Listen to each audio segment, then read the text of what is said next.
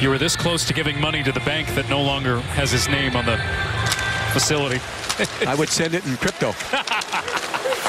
Here's Quick with a poke check out in front on Duclair. There's a oh. penalty here. Are they going to call Quick on a trip? Yeah, they are. Yes, they are. The back referee, and of course he's pointing out it has to be, since it's against the goaltender, it has to be a player on the ice that serves the penalty.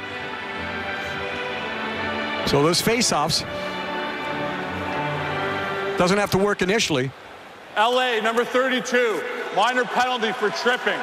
but it gets you started in a danger area, doesn't it? And then Jonathan Quick, a little bit of a, a little bit of a smile there. So it's not necessarily dangerous initially, but as it makes its way through, Quick goes through, he pushes the puck. He ends up getting the skates of the player with his arm, not necessarily the stick. He certainly makes the save first, but it's his follow through.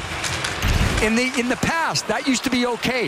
If you make contact first, they changed that rule about six, seven years ago, where even if you make contact and go through, it is still a penalty. And the Panthers have a chance here to get back within one.